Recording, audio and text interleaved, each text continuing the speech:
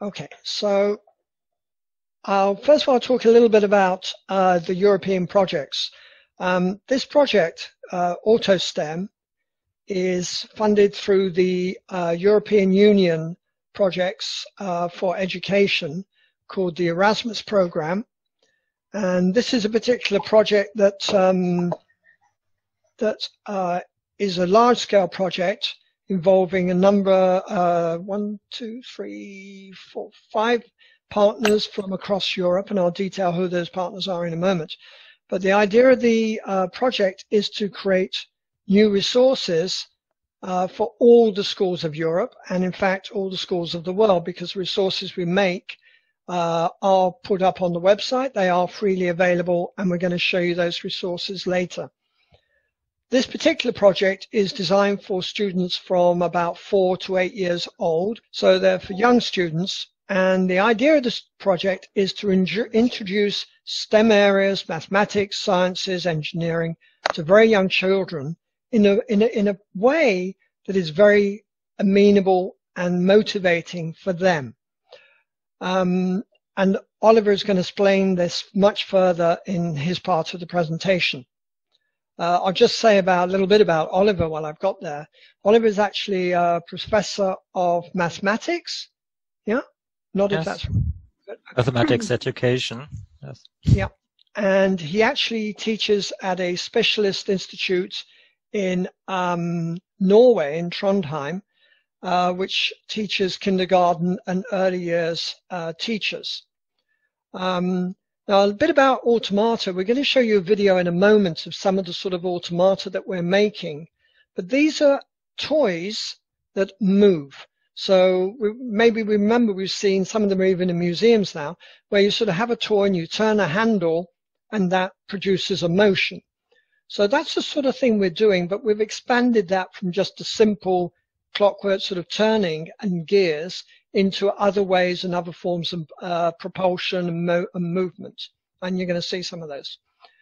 Um, all the automata that we have brought into the project, we've got about 10 or 12 so far, are made from very easily found materials, very common within the school.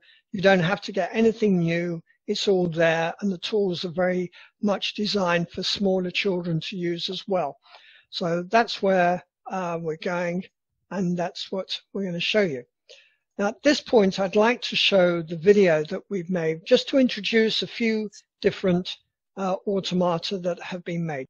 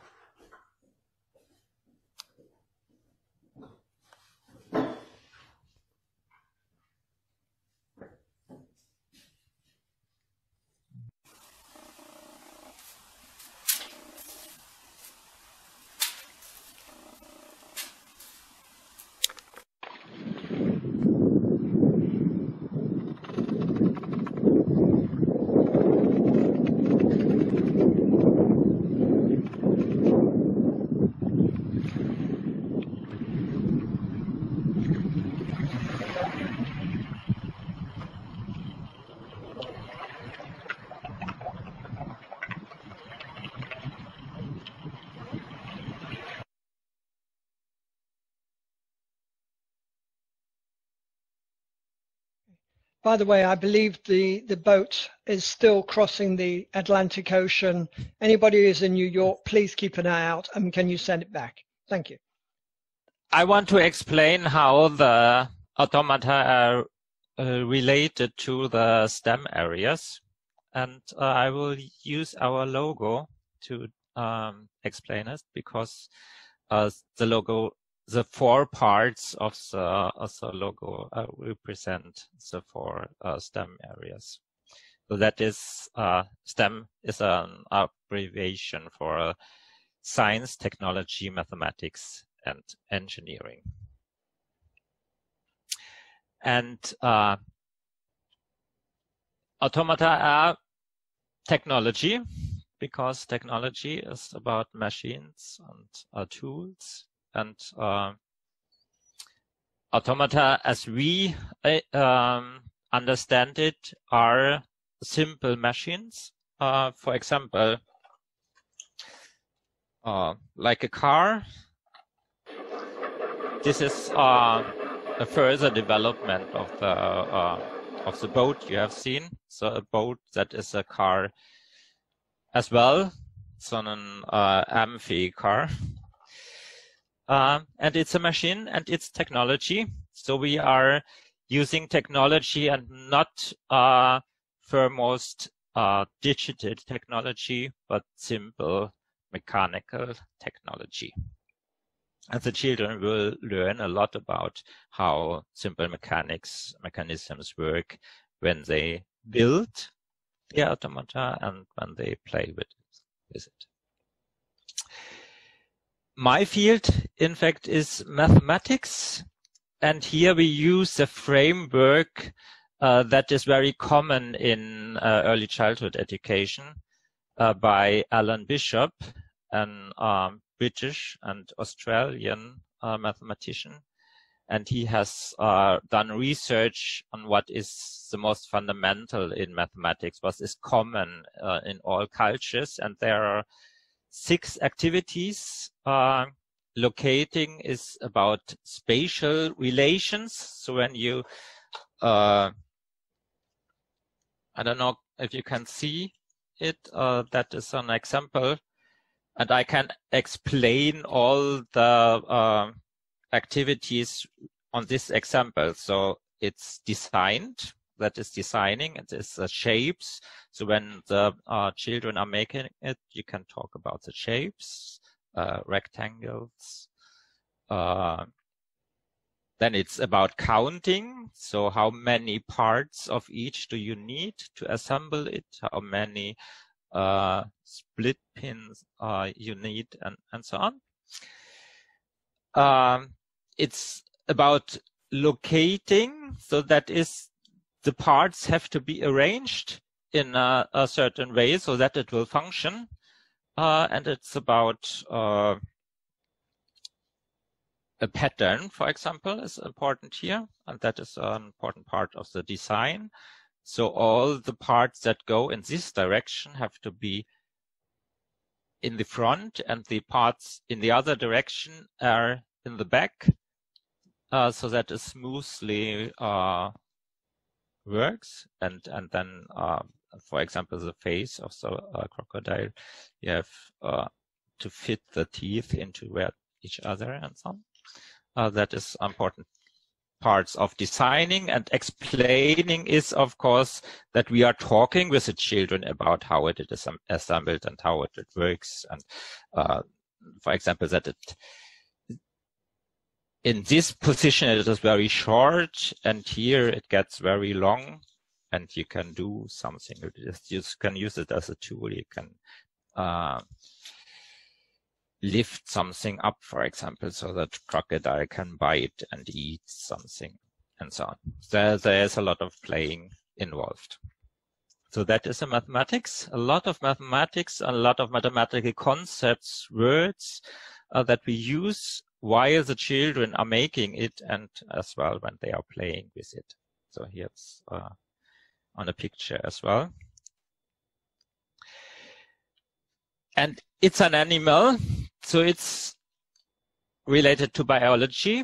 So some of our uh, automata toys are representing animals. Uh, I have some pictures here as well. So we have an elephant, for example, and a bird and a uh, butterfly. So you can use the uh, automata when you teach uh, or work or let the children explore some uh, bio concepts from biology, zoology, uh, animals and how the animals live and, and so on. And then, of course, uh, physics, mechanics, that is uh, science as well.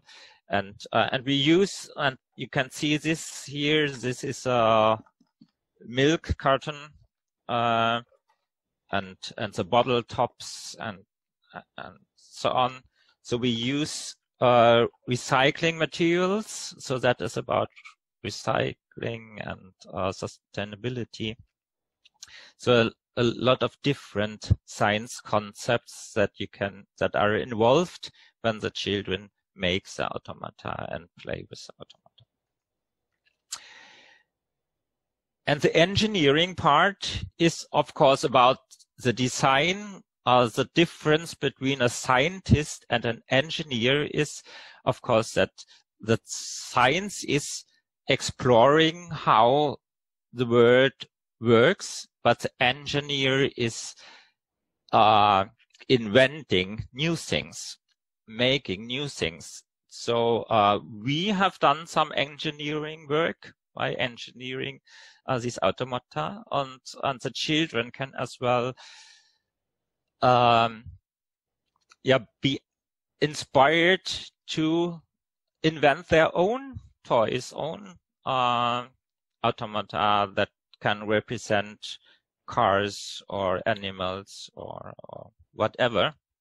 Uh, and that can be a further development of things we have already uh, here, or it can be on new inventions using some of the mechanical concepts, for example, of the automata. And when you look, for example, on the most famous engineer, uh, that is Leonardo da Vinci, uh, then it is uh, very clear that engineering is closely related to arts. So arts uh, has a role in our project as well, and that you can see in how the, the automata are designed. That is not only that they function. It's uh, as well that the aesthetics, that it looks nice and, and the uh, children can be creative when making their own automata and uh, the creativity is not only in the uh, in the aesthetic parts, but as well in the engineering parts in uh, to invent new things. So all uh, parts of STEM are uh, come together when we work with automata with children. And that is a nice part that you not focus on mathematics only or biology only or engineering only, but all is related to each other. And I think that is a way we should teach uh, STEM in the preschool. So here are some examples uh, from teachers from Italy have been very creative. So uh, that is not only uh, showing that the same mechanism that we use for the crocodile, you can use for many other things as well.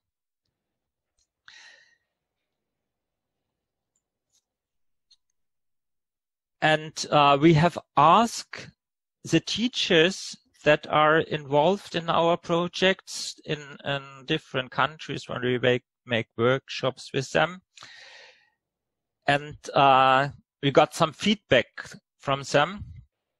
So they said that uh, so all teachers that are involved uh, in the project say that it is uh, important for the children, that the children like it, that the project facilitates creativity and wonder so that the children become curious about uh, science concepts. They like very much that it is interdisciplinary, so that all the different fields are connected with each other. Uh, but they recommend that um, we should not do too much at the same time so, uh, for example, it is uh, recommended that we focus when we have a group of children that we focus on one automata or, and not uh, introduce several at the same time. And time is needed, of course, good time, a lot of time, uh, and um, that might be a problem in school, but our project is focusing on preschool, on the early years, and that is where I teach. So in kindergarten and preschool, you have plenty of time because you have not a strict schedule that you have to follow, but you work in projects and um, our project is very good adapted to this. So you need time, the children need time to build uh, the automata, to explore how they work and function, and to test and play with them. And all these parts are important in the project and for the children's learning and the children will learn in all of these phases of the project. Uh, they will learn a lot about um, science and technology and mathematics. And another recommendation was that it is, should be not too much children in uh, each group. Uh, so it would be difficult with uh, a class of 20 or 30 children. So we work in small groups with four or five children uh, because, of course, the motorical uh, abilities of children are not so developed yet. So they need uh, some help from the teacher to, to assemble the different parts. But uh, we have chosen very simple uh, automata so that most parts can done by the children by themselves. And now I want to give the word back to Joel. Thank you. Okay, so the point about these European projects, particularly for people who don't live in Europe, they may not know them so much, is what we're actually doing is pre- creating new innovative, innovative, I can't say that word, resources for all the schools of Europe. And everything that we make, we put onto our websites and onto other resource sites which are run by the European Union as free resources for teachers. There's no cost or during the course of the project. There's no cost to actually download these resources or use these resources. After the project, we will be happy to do workshops with teachers all over the globe, providing you can pay for us to come and do it with you. And we're very happy to do that. Um, on the website, uh, uh you, will find um, a whole list of different automata that we've made. And uh, each of those you'll see you can open up. And in there, you'll find uh, some brief details about those particular automata. Um, and also you'll find a theoretical and pedagogic framework uh, that um, is also in the resources on the website. And finally, we have some more information about key concepts for constructing automata. Uh, that's in the teacher guides. Within each individual automata, we have a downloadable sheet, templates, and videos telling you how you can make and use that automata exactly within your STEM teaching and the children can construct those that particular automata. Uh, we are actually expanding on ideas of scenarios that you can use uh, to expand what you're doing with those automata. So for example, one of the scenarios we're thinking about and working on is the river, because we have birds, we have elephants, we have crocodiles. So those could come into play as an ecological way of going forward into another area and using the automata and the ideas within a biological or ecological setting. Um, we are also producing um, resources for planning and re reflecting on the work that you're doing with your children. They're also going to be online. And to date, we've actually got 29 videos of how to make the automata, how to use the automata, how teachers are already using them or children are using them within their within their classrooms, etc., etc. So there's a lot of resources being made and uh, there's all going to be available or are available already online. So as I say, this is a list directly from the website uh, of the different automata that are made. And when you open up each of those items, uh, you'll see uh, when you click on each of those automata, it tells you uh, what areas of STEM learning are included in that uh, automata and what age group that is suitable for. Uh, there's a video showing how to make the automata. Uh, it has a full teacher's step-by-step -step guide how to make that automata, including ideas of how you can use that pedagogically within STEM. And where we have them, we have examples of children making and using that particular automata. Again, where appropriate, there are templates that you can print off on your normal uh, uh, uh, school computers, on their printers, to actually build those automata. Um, as I mentioned just now, in each of those automata, there's a full step-by-step -step teacher's guide. So you can actually um, see exactly what and how you can use that particular automata. And you'll see, and I put an example up here for the Jellybird, um, it shows ideas and ways that you can use that to teach different concepts, maths concepts, geometry, uh, and many other ideas just on that one. So we have very detailed instructions how you can use those automata within your teaching. Here you can see the links to the different um, resources we have. All the resources are on the website. Uh, you'll find them under, if you, and obviously the different areas, you will then find under resources, um, the uh, YouTube channel, which we're using, and then we have a Facebook page as well. There's an email there that you can use, which is my email, if you have any particular questions. Just, um, I think this is a very important point that I managed to miss, and I apologize for that. Um, the way these European projects work, uh, these scale, we, we have uh, partners in our case, I think five or six from all over Europe who are very much uh, involved in all aspects of the project. And it's very much why these projects uh, work well because there's that differences of education, of learning and experience from all over Europe and our different attitudes, which means that when we come together, um, we, we, we, do come up with some very interesting and exciting results. In this instance, the coordinator of the project is uh, Dr. Piedade Vaz. I think I always get, I only know Piedade Vaz, who's at the University of Coimbra in Portugal. Oliver is at the Queen Maud University College in Trondheim in Norway.